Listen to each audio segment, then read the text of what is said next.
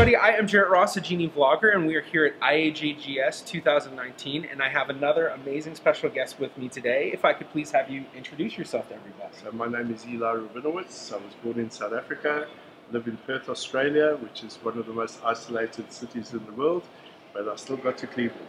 Wonderful. Yes, so the world's tiny place for me. Very small. now, can you tell us about your history in genealogy, getting into it, and the research that you've done? So I've, I've had a very lucky run in genealogy because I like to connect with people. I'm uh, somewhat tangential. One of my websites is called Tangential Travel. so I'm all over the show. You're just going to bring me back in line. But when you're all over the show, you find things that maybe other people don't find. And I think in, uh, in genealogy is quite a good um, uh, attribute to have. Uh, JewishGen has been uh, my major resource. But then I started writing uh, web pages when I found towns and I saw that uh, people wanted to share the information or wanted to find things. And the more I got involved, and I'm involved in a lot of social media, so Facebook, I'm always at my maximum of 5,000. I find I have different friends, fans, whatever people um, that connect. It's all about connecting, yes? Yeah. And it's about sharing. So if you want to hold things to yourself, I think then it works out that you don't actually tend to get a lot from other people. Very you know, It's two-way traffic. So, and I'm an outgoing personality, so that, that works for me. now, you have a really amazing project that you're running called We Are Here. Yes. Can you give us a little bit of a background of it and then tell us what the project actually encompasses? So, everything works off the fact that I'm outgoing.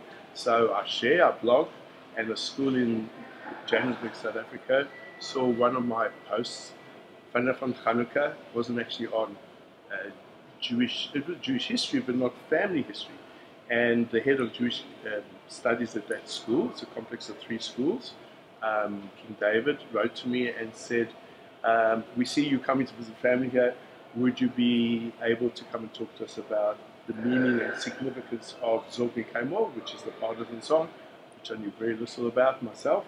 And I was given the time um, a time span of three weeks till I was going to be in the in the city, and uh, so I've got onto YouTube and to other sources, social networks. But YouTube was was probably particularly good, and I don't get lost when I get lost. Oh, I like YouTube. yes. So I did find, for example, genres of the partisan song. Yeah. So people sing it for different reasons. You know, particularly active people who weren't Jewish. You know. Yeah. Uh, it's got a message in it. And so I was able to put something together. He gave me a time limit, which I'm sort of broke. You know, so you can speak for 20 minutes. And my first gig was in front of 600 high school students, who generally speaking are not the most focused people. You know, yeah. they were all over the show, but they were they were pretty switched on to what I was trying to do. And I also have a, a particular method of when they get it, so I was working with the kids up in the control room from the school, and I said, when I show you my finger, whatever, go to the next, because I wasn't controlling it from the podium. Oh, yeah. So I said, go to the next slide or the next video. And that's very important, if you see that people get it. So you have a, a two-way traffic and empathy. I mean, it's big, it's difficult with a big crowd of 600 kids, but you can get a feeling that they've got it. So you go into the next thing and keep it moving. It's got to move because they don't have time to mess around with these long stories. So that's my style and works for me. So um, from that school, I went to another school in Cape Town, and we did a bigger project there.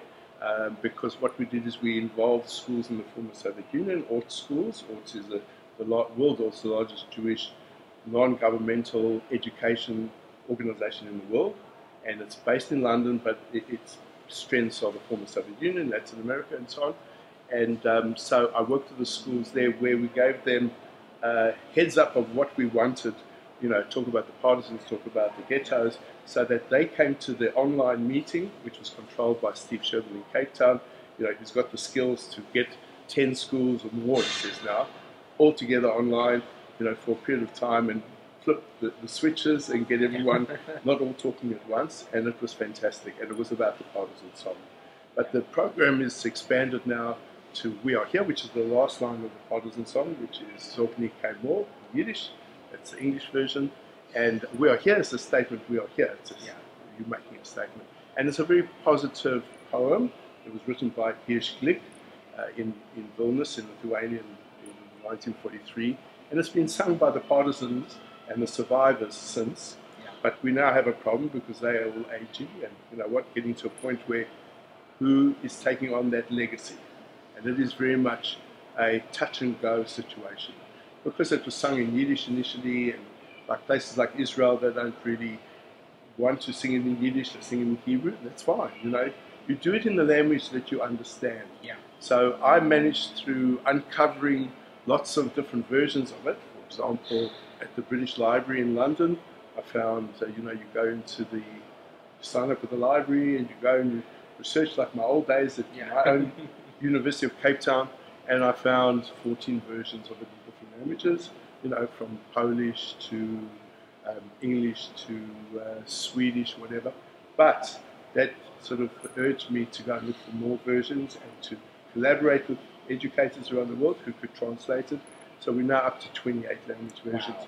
And the thing that got me going at the, at- at- at- up to this point is that we, we got somebody to um, translate it into an Aboriginal language called Noongar, which is a language they speak in my city in Perth, but not a language you hear them speaking, you know, but it's, it's spoken. In 1938, William Cooper, uh, Indigenous Australian, who was offended by what he saw at Kristallnacht, and he wrote a petition and he marched 10 kilometers, an old man, late 70s, to the German consulate in Melbourne, and he tried to present the petition. They did not accept it, they rejected it, he left it there, I believe. And, and then I connected with somebody, a lady in North Queensland, in Australia, um, Barbara Miller, who who researched this before me.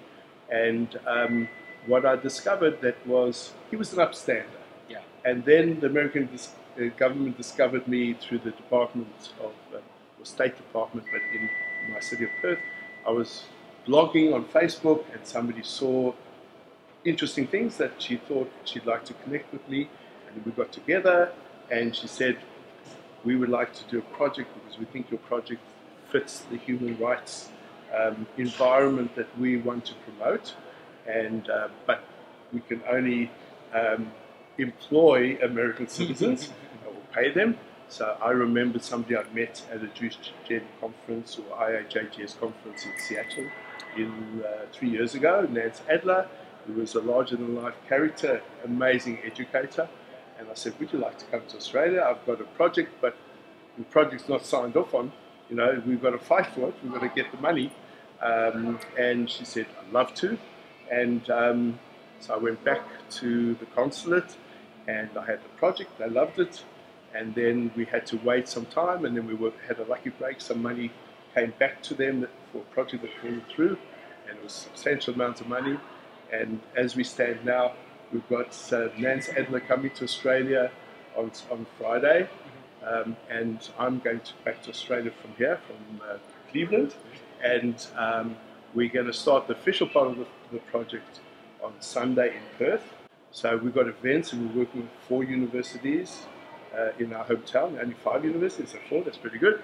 And with several schools, with several um, people involved in multicultural education, and um, that is going to, and also the Jewish community, and it's about the, the, the upstanders and the story of how the partisans um, he, um, encouraged that, that um, concept, but also linking it back to the indigenous Australians who were upstanders in 1938, and it's a it's a very powerful message, and the message is um, something that is global. It's not limited to our particular town, and we hopefully hopefully we can expand it from there. Very cool. Now, if, if people wanted to learn more about the project, where where could they go? So if you remember websites, https colon forward slash forward slash wah dot foundation. That's it. wah dot f o u n d a t l i o n foundation. Yeah. Normal spelling, and you'll come to us. Straight to us. Don't pass go. Yeah. Get straight to us. Perfect. Easy. Perfect. Well, thank you so much for doing this interview. It was wonderful to have you. Okay. Thank you. Cheers. Thanks. Cheers.